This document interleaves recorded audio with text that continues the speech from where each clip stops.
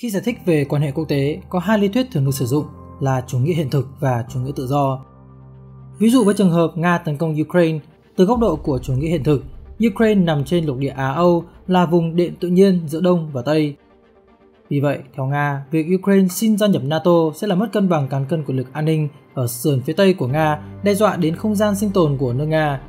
Do đó, Nga phải hành động kịp thời để ngăn chặn mối nguy cơ an ninh này.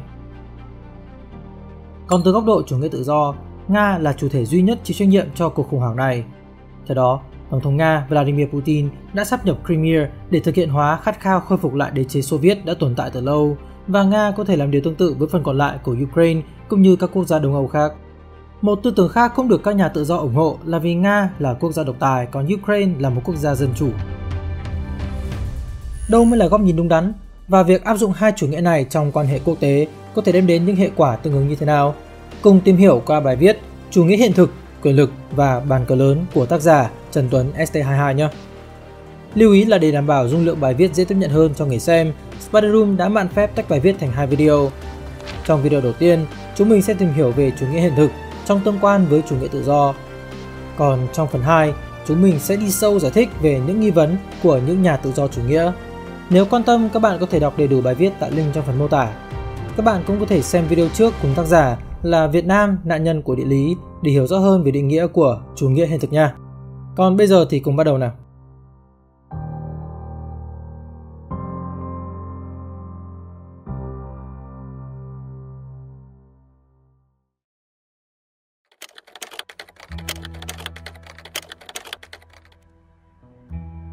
Trong bài luận về việc viết, tôi đã nêu định nghĩa của lý thuyết khoa học cụ thể như sau. Lý thuyết, cụ thể ở đây là lý thuyết khoa học, là một mệnh đề giải thích cụ thể về một hoặc một nhóm hiện tượng hoặc là một phần của thế giới tự nhiên, chẳng hạn như thuyết tương đối rộng của Albert Einstein và thuyết tiến hóa của Charles Darwin. Vì bản thân lý thuyết là một mệnh đề giải thích, nó không thể được chứng minh ngay tức khắc theo cách của định luật, tức là thực hiện đi thực hiện lại một thí nghiệm vì lý thuyết còn đưa ra những dự đoán về những hiện tượng chưa được quan sát, nên càng nhiều dự đoán được kiểm chứng thì lý thuyết càng được khẳng định. Thuyết tương đối của Einstein đã trải qua nhiều lần kiểm chứng, từ ánh sáng bị bẻ cong khi đi qua mặt trời, hiệu ứng thấu kính hấp dẫn và sự uốn cong của không thời gian được quan sát trong vũ trụ. Thuyết tương đối còn dự đoán được sự tồn tại của lỗ đen. Lý thuyết quan hệ quốc tế cũng chia sẻ nhiều đặc điểm tương đồng với một lý thuyết khoa học, đó là tập hợp các góc nhìn, cách tiếp nhận các mô hình cũng như những cách lý giải về các hiện tượng diễn ra trong nền chính trị thế giới. Chúng ta cần lý thuyết để hiểu được ý nghĩa của cơn bão thông tin đến với chúng ta mỗi ngày. Dù các nhà hoạch định chính sách là những người khinh thường lý thuyết, nhưng họ cũng phải dựa vào những ý tưởng thường không được nói ra của riêng họ về việc thế giới vận hành như thế nào để đưa ra quyết định. Tất cả mọi người đều sử dụng lý thuyết dù họ có nhận ra điều đó hay không. Các bạn cũng cần lưu ý ba phạm trù chính của một lý thuyết quan hệ quốc tế. Thứ nhất là bản thể luận, bàn về những gì trong thế giới khách quan mà con người có thể nhận thức được hay là thế giới quan. Thứ hai là tri thức luận, tập trung vào phương thức mà con người nhận thức thế giới, nói cách khác là phương thức mà qua đó tri thức được tạo ra. Thứ ba là phương pháp luận, đề cập đến các phương thức tiến hành thực nghiệm để kiểm chứng độ đúng sai của lý thuyết đó. Tôi có thể lấy một ví dụ liên quan đến bản thể luận Chẳng hạn, cuộc tranh luận đầu tiên và tiêu biểu trong triết học chính trị là giữa chủ nghĩa lý tưởng và chủ nghĩa hiện thực, xoay canh câu hỏi bản chất con người và thế giới họ đang tồn tại trong đó. Những người theo chủ nghĩa lý tưởng hình dung một mẫu người mang tính hợp tác, hay nói cách dễ hiểu, nhân chi sơ tính bản thiện. Từ đó họ cho rằng có thể xây dựng nên một trật tự thế giới hòa bình vĩnh cửu, nơi các quốc gia có thể sống chung trong hòa bình, thân thiện với nhau. Như vậy, nhiệm vụ đảm bảo trật tự chung sẽ là trách nhiệm của cộng đồng quốc tế thông qua những tổ chức và định chế. Ngược lại, các nhà hiện thực chủ nghĩa lại hoài nghi khả năng hợp tác của con người và mỗi quốc gia. Họ cho rằng trong con người luôn hiện hữu bản tính đam mê quyền lực hay nói một cách dễ hiểu là nhân chi sơ tính bản ác và mục tiêu của các nhà nước cũng tương tự. Lợi ích, thể diện quốc gia và việc theo đuổi quyền lực mới là động lực chính giải thích các hiện tượng và lựa chọn mà các nhà nước đưa ra trong trật tự chính trị thế giới. Từ những năm 80 trở về sau, chúng ta có thể thấy rằng lý thuyết quan hệ quốc tế chứng kiến thêm các cuộc tranh luận lớn nữa. Trong bối cảnh hợp tác giữa các quốc gia trở thành xu thế chủ đạo của chính trị quốc tế vào những năm 80 của thế kỷ 20, các nhà tân hiện thực chủ nghĩa và tân tự do chủ nghĩa tranh luận quyết liệt xoay canh vai trò và ảnh hưởng của các thể chế đến chính trị quốc tế. Quý độc giả đến đây có thể hiểu rằng đây chỉ là sự nối dài của cuộc tranh luận đầu tiên giữa những nhà hiện thực chủ nghĩa và lý tưởng chủ nghĩa. Cuộc tranh luận của chủ nghĩa tân hiện thực và chủ nghĩa tân tự do đã khởi đầu cho một cuộc tranh luận mới trong tương lai về sự ra đời của quản trị toàn cầu, nơi một mặt mang đầy đủ các yếu tố mà chủ nghĩa tân tự do miêu tả như thể chế, hợp tác, pháp trị và xây dựng chuẩn tắc. Nhưng mặt khác cũng tiềm tàng sự tranh giành lợi ích, sức mạnh được thua trong góc nhìn của chủ nghĩa hiện thực. Như vậy, trên thực tế, có rất nhiều học thuyết, lý thuyết chính trị và chủ nghĩa lý giải quan hệ quốc tế, chẳng hạn như chủ nghĩa hiện thực, chủ nghĩa tự do, chủ nghĩa kiến tạo. Từ đó chúng ta có thể thấy được một sự liên kết không thể tránh khỏi giữa thế giới trừu tượng của lý thuyết và thế giới thực của chính sách.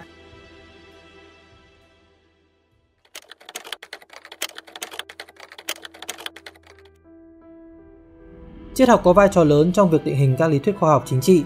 Chẳng hạn, chủ nghĩa hiện thực có nguồn gốc lâu đời, bắt nguồn từ các tài liệu của Thucydides về cuộc chiến tranh Peloponnese.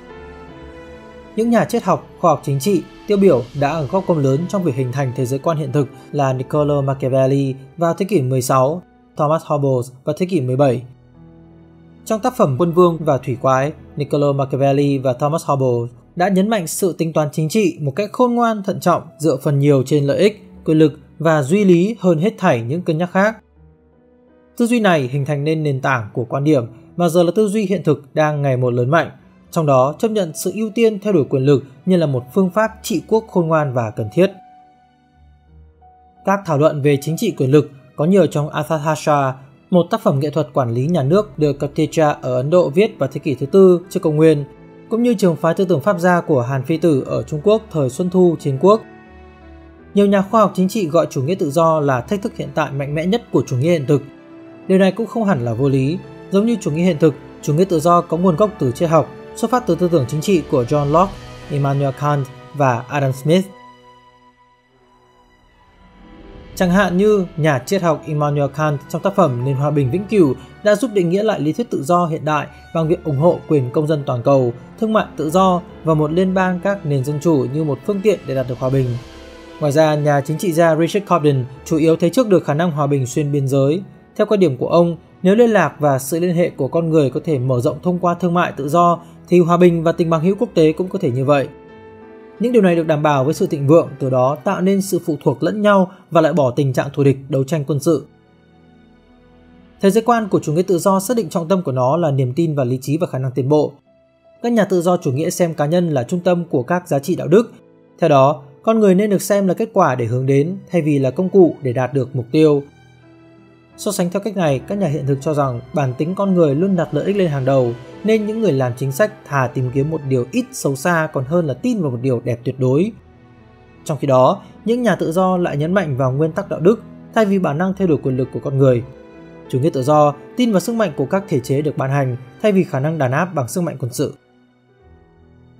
Theo đó, thay vì đổ lỗi cho ham muốn cố hữu về quyền lực gây ra xung đột quốc tế, những nhà tự do chủ nghĩa chê trách các điều kiện mà con người đang sống.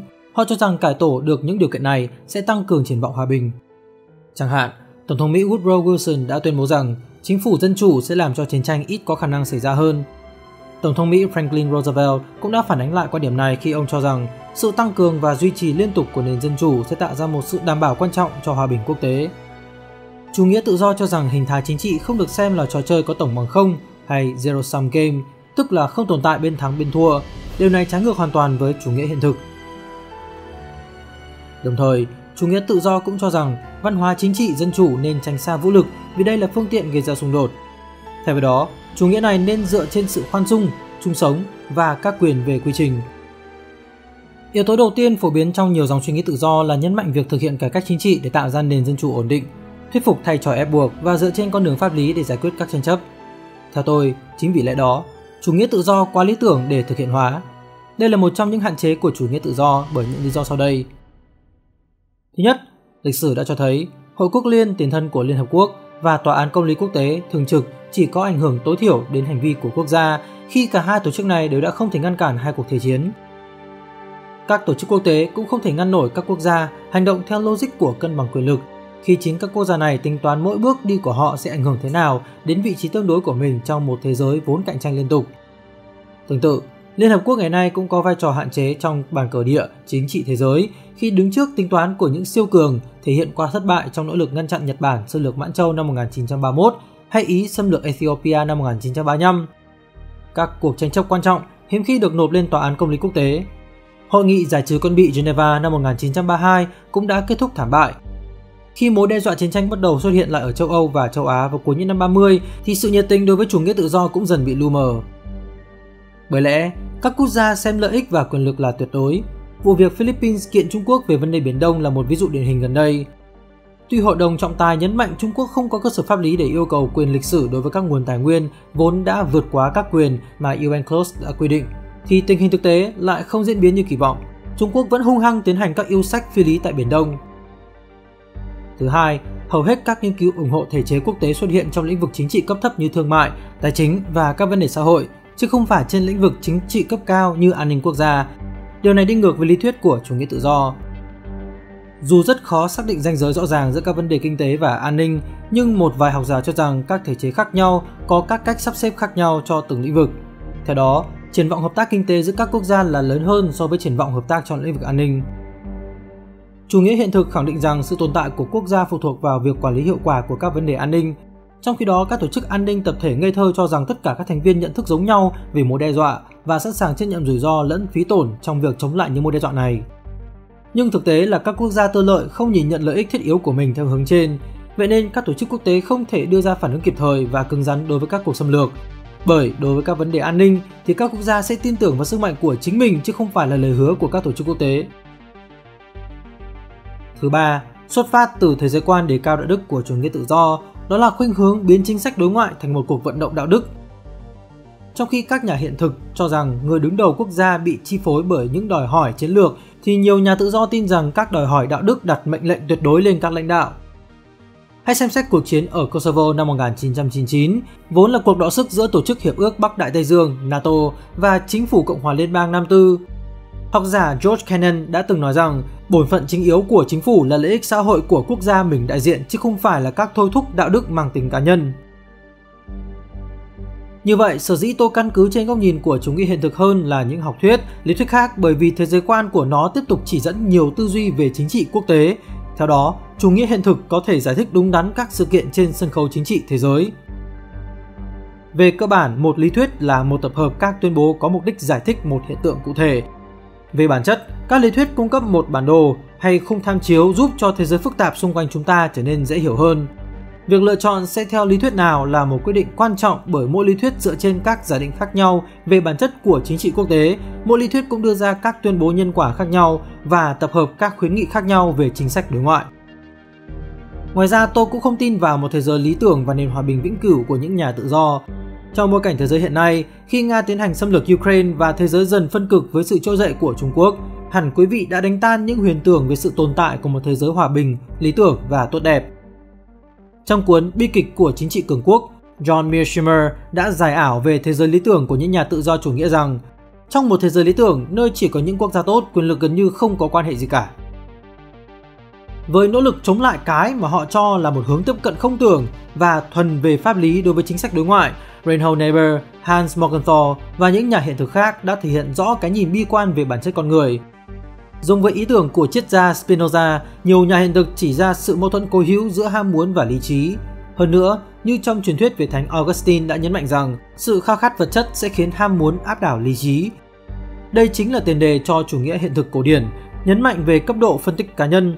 Chẳng hạn, ta có thể thấy rõ điều này trong tác phẩm Quân Vương của Niccolo Machiavelli, khi ông cho rằng Bậc quân vương phải dũng mãnh như sư tử, xảo quyệt như loài sói. Đối với kẻ phản bội mình thì phải tàn độc như rắn rết, bọ cạp. Bậc quân chủ phải tỏ ra là người từ bi, rộng lượng, biết giữ lời hứa, chân thành, đáng tin, sùng bái thần linh. Nhưng khi cần thiết, phải biết vứt tất cả những phẩm chất đạo đức cao quý đó và thay đổi hoàn toàn thái độ, tức là bất chấp mọi thủ đoạn để đạt được mục đích. Mục đích luôn là cái cớ để biện hộ cho thủ đoạn, nhưng tuyệt đối không được mất lòng dân. Bởi vậy, bậc quân vương phải vừa là một kẻ ngụy quân tử và vừa là một kẻ lừa đảo chuyên nghiệp.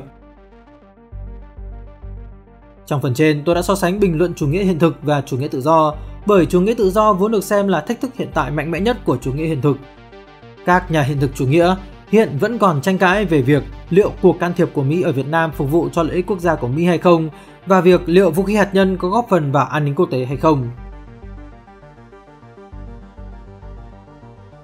Trong bài viết vừa rồi, chúng ta đã lắng nghe những giải thích của tác giả về chủ nghĩa hiện thực trong tương quan với chủ nghĩa tự do. Bạn thấy rằng chủ nghĩa nào sẽ phù hợp hơn trong bối cảnh chính trị quốc tế như hiện tại? Hay quay lại trường hợp đầu bài về cuộc chiến giữa Nga và Ukraine, bạn nghĩ lời giải thích theo trường phái nào sẽ khách quan hơn? Chia sẻ cho chúng mình biết nhé!